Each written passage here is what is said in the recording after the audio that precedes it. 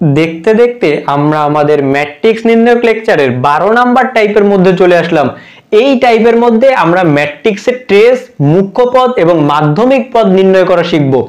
ম্যাট্রিক্সের ট্রেস কি কোনো বর্গ ম্যাট্রিক্সের মুখ্য কর্ণ বরাবর ভুক্তিগুলোর যোগফলকে ম্যাট্রিক্সের ট্রেস বলে।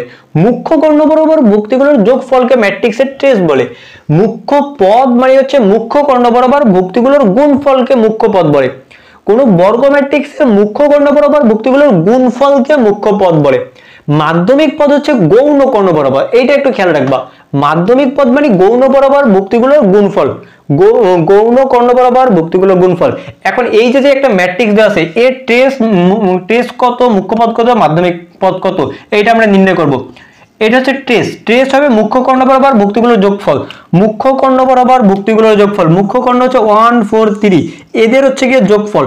ওয়ান প্লাস হচ্ছে ফোর প্লাস থ্রি চার আর তিন চার আর পাঁচ আর তিন, আট। অর্থাৎ এইটাই হচ্ছে আমাদের ম্যাট্রিক্সের টেস্ট মুখ্য পদ কত হবে? ম্যাট্রিক্সের মুখ্য পদ হবে এইগুলোর গুণফল। One into four into three অর্থাৎ তিন চারে বারো। মাধ্যমিক পদ কত হবে?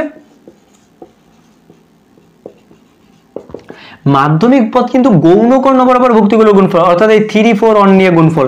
অর্থাৎ থ্রি ইন্টু ফোর ইন্টু হচ্ছে অন অর্থাৎ তিন চারে বারো এটার মান হচ্ছে বারো কিন্তু এইটা দেখো, মুখ্য পদ এবং মাধ্যমিক পদের মান বারো বারো চলে আসছে, কিন্তু সবসময়ের জন্য কিন্তু সমান হবে না। এইটা হয়তো এই ম্যাট্রিক্সের জন্য এটা সমান হয়ে গেছে, কিন্তু সবসময়ের জন্য মুখ্য পদ, মাধ্যমিক পদ সমান হবে না।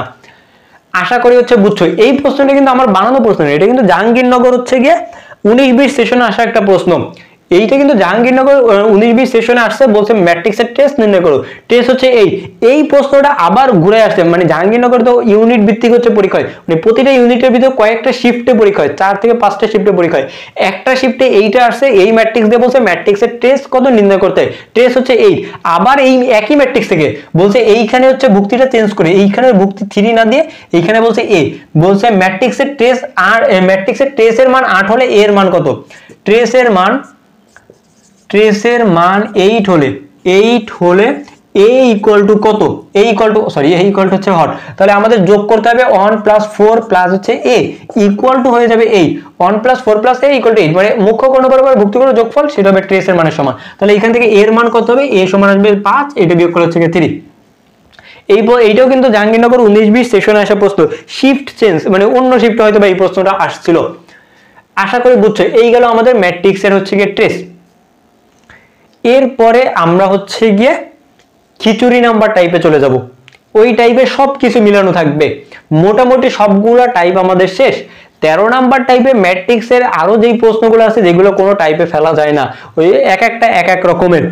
সে সব টাইপ একসঙ্গে মিলানো। এখন আমরা তেরো নাম্বার টাইপের সেরকম কিছু প্রশ্ন সলভ করব।